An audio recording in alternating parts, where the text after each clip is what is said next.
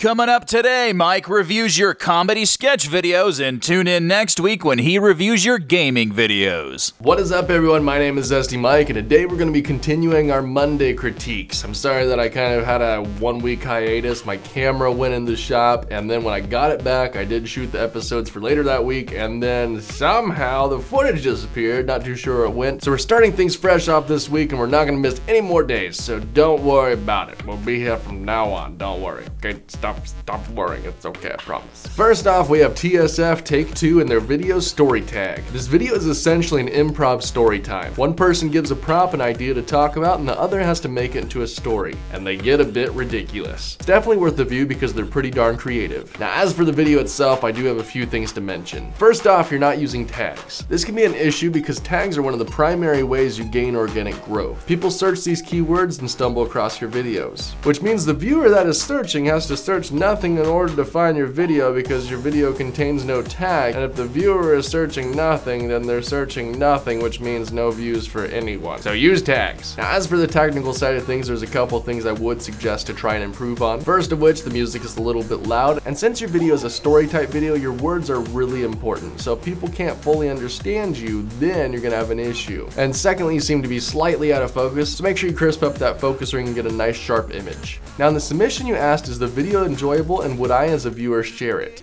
Now I do think that the idea is cool and that your stories are fun to listen to. But in order to make a super shareable video, you need to find a way to push it just a little bit further. You need to find a way to make it more relatable to the viewer. Part of the scary and fun thing about improv is typically you're in front of an audience that you don't know. Now this can obviously be intimidating, but also awesome if you pull it off correctly. Now if you're only doing improv in front of your camera and a friend, it's not quite as relatable because it doesn't seem quite as scary. So you need to find a way to make this more relatable to the viewer so they are enticed to share it. What I recommend is maybe try to find a way to bring this out to the public somehow and do it live or something. So you have that same intimidation factor that makes it just that much more shareable and that much more exciting. Now next up we have Jacob Carlson and his video shooting arrows at each other. Now don't worry, I don't condone violence and this isn't a gruesome video of cheesy VFX. This is actually an extreme yet fun sport called archery tag. He makes an awesome short video about his experience participating in this and I've gotta say, it looks crazy fun. Now, aside from the video being crazy cool and well put together, I think you could do a bit more with your GoPro shots. Unfortunately, it's really hard to get those perfect cinematic GoPro shots without the proper equipment. I learned this the hard way while my camera was in the shop because while my camera was in the shop, I tried vlogging on the GoPro and my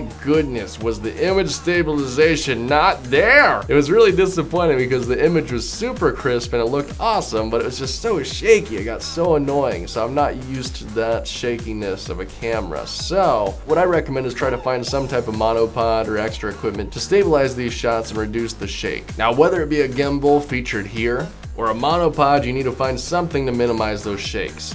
Again, it sucks because it comes down to lack of equipment, but I'm sure you can find a cheap DIY solution or something else to get a smoother image. Now next up, we have Tagaratsu and his video spoof where they review random food. Now this isn't your typical food review, they actually shot and edited it to look like a MasterChef type TV show. They are playing celebrities who are traveling the world to find and try new cuisine. And not only is it funny, but I'm extremely impressed at the quality of the video that these guys have produced. For their age, it's incredible. Now the intro you guys made was awesome and I really got that TV show-esque feel. Now for stuff that you can improve on, there's really only one thing I could think of. Now like the last person, the only thing I think you're lacking is equipment. The handheld shots are just a bit too shaky for my liking. So try to find something to stabilize your shots, whether it be collapsing a tripod and using it as a shoulder rig or building a DIY Steadicam with PVC pipe. Look into cheap solutions to get those perfect handheld shots. And if you did this, I really think it would improve your videos. Jim.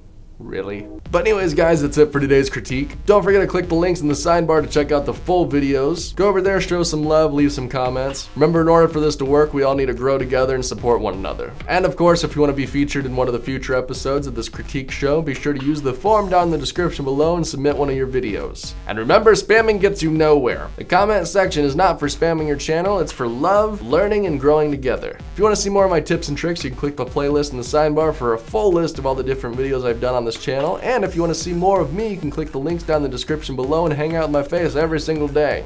I have a daily vlog channel, that's what I do, show my face every single day. But anyways guys, that's it, we'll see you tomorrow. See ya.